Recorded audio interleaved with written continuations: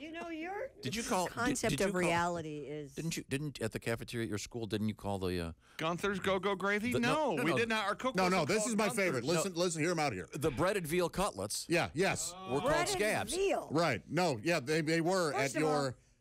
The breaded veal cutlets because they then you, they'd have the He's tomato eating sauce on. them. veal Uh, in, yeah, in did you- school. we went to Eton, apparently. yeah, apparently.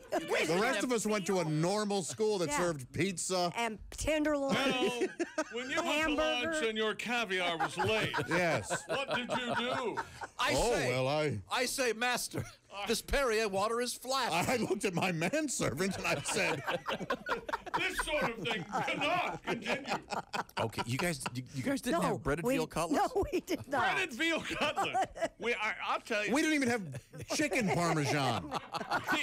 peanut butter and jelly and chili. That was a staple. Yeah. Uh, Oh, that's what a meal that let me is. think. Uh, gosh, what? Uh, spaghetti, spaghetti, meatballs. yeah. We had that. Macaroni and cheese. Macaroni and cheese. had Frito that. pies we would have. They were called pe- they were called pepper bellies. What are Frito pies? Frito, chili, cheese. Oh, oh my God. Why were they serving a bunch of teenagers that? Lucky Were weren't they in- insane? Lucky you weren't in a 747. Why did they just put out insulin pumps? Do I hear the